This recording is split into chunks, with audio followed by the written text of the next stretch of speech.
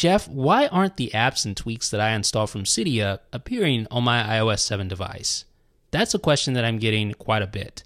And there are usually a couple of answers to that question, but probably the most likely answer to that question has to do with mobile substrate.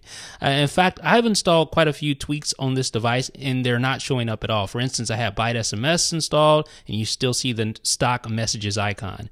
You see all these tweaks here, activator, you see BiteSMS there installed, but they're not showing up on my device. So how do I get those to show up? Well, what you need to do if you're running an A a device less than an A7 device, meaning not 64 bit device like an iPod Touch 5th generation. You want to reinstall mobile substrate and you also want to reinstall uh, a substrate, substrate safe mode. So just reinstall both of those packages at the same time.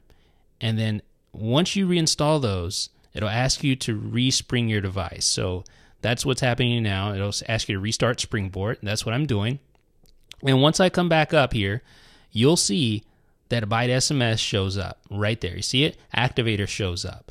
If I go into the uh, settings app, you'll see the preference panels for the other tweaks I have installed on my device, like Flip Control Center. That's that's showing up. So what you need to do in situations like this is to reinstall Mobile Substrate and Substrate Safe Mode. Even if you respring like I just did right there, even if you respring after doing this, your apps and tweaks will still show up on your device. They'll only go away when you reboot, and then you'll have to reinstall mobile substrate and substrate safe mode.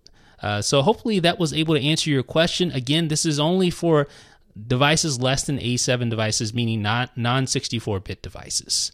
Let me know what you think in the comments. This is Jeff with iDownloadBlog.